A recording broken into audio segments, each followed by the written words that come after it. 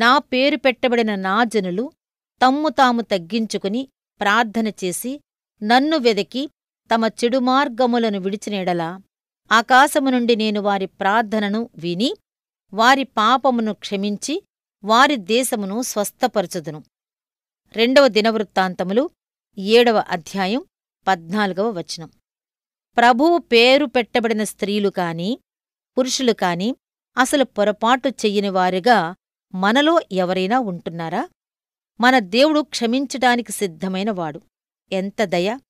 మనం ఎప్పుడు పాపంలో పడినప్పటికీ వెంటనే క్షమాపణకే రోదిస్తూ ఆయన కృపాసనం దగ్గరకు పరిగెత్తుకుని వెళ్ళాలి. అంత గొప్ప ప్రేమను అనుభవించిన తర్వాత కూడా మళ్ళీ మళ్ళీ అపరాధాలలో పడుతున్నామనే నిజాన్ని గుర్తించాక మనలను మనం ఎంతగా తగ్గించుకోవాలి?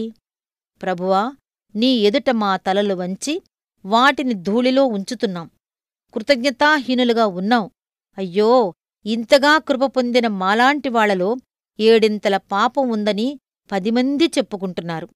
తరువాత మనం ఆయన్ని కనికిరాని వేడుకోవాలి. ప్రతి పాపపు మురికిని కడిగి పవిత్ర పరచమిని విజ్ఞాపన చెయ్యాలి. పాపపు అధికారం నుండి విడుదల కలుగచేయమని మొర్రపెట్టాలి. ప్రవ్వా ఇలాంటి పరిస్థితిలో చేసిన ప్రార్థన కూడా ఆలకించు. మా మొరల వినకుండా నీ చెవులు మూసుకోవద్దు. ఇలా ప్రార్థిస్తూ మనం దేవుని సముఖాన్ని వెతకాలి. మనం చేసిన అపరాధాల వలన ఆయన మనలను విడిచిపెట్టేశాడు.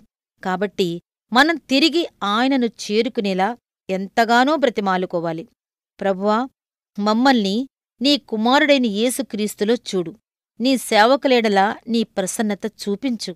ఈ విధంగా ప్రార్థన చేస్తూ మనం ప్రతి విధమైన చెడుగును విడిచి ప్రభువు తట్టు తిరగాలి.